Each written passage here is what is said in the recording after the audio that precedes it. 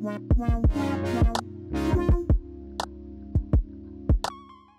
everyone, so today we're going to be showing you how to install our LED bendable profile. Now this profile is not suitable for angles so we do not recommend bending the profile around angles as you will end up damaging the profile. So place the profile around the shape without the diffuser and the LED strip for the moment. Now sold separately are the mounting clips.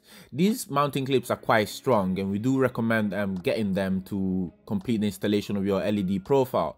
So once you've screwed in the mounting clips on the shape, you just go ahead and um, clip the LED profile onto the mounting clips. Then we do recommend testing the strip before completing installation.